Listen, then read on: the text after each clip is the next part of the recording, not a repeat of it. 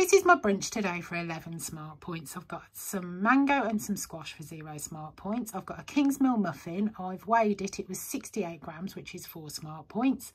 I brought some Frankfurter sausages wrapped in bacon from Aldi before Christmas. These are really, really nice. I've cooked it and weighed it. It was 66 grams, which is six smart points. I've also got a Tesco's light cheese slice. It's the plasticky cheese. I love it. It is one smart point for a slice. So that is my brunch for 11 points. I'm having some mango for zero smart points and I've got myself an oat milk latte. I've got 230 mils of oat milk there, which is four smart points.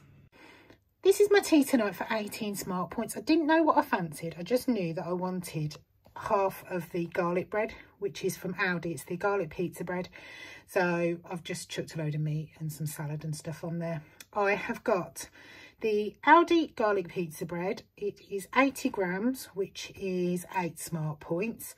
I've got some Lidl's Lightning Light mayonnaise. I've got 58 grams, that's one smart point. I've got a chicken breast there. It was 185 grams, so that's three smart points.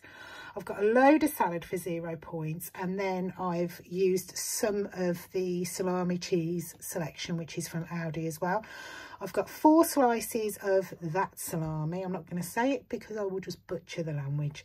It is two smart points for that. It was 18 grams. I've got 18 grams, which is four slices of that salami, which is um, two smart points as well. And then I've got two slices of the cheese, which is, I think that was 14 grams, which is two smart points. So that is my tea for 18 points.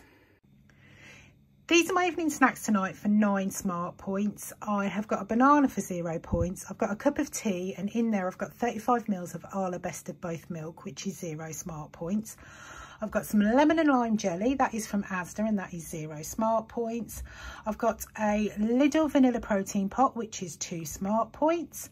I've got a pack of Cheeto Puffs. They are two points and they're from a multi-pack. And I won an Instagram giveaway the other day. I've won a load of popcorn. This one is peanut butter caramel flavour. It smells absolutely amazing and it tastes really, really nice. I've got no nutritional information for that so I've looked on the app and there is peanut um, sort of caramelly popcorn. This is a specialty popcorns basically. For 25 grams for most of them is around five smart points. So that's what I'm pointing that as five points for 25 grams. So they are my evening snacks for nine points and I'm ending the day on 42 of 30 smart points.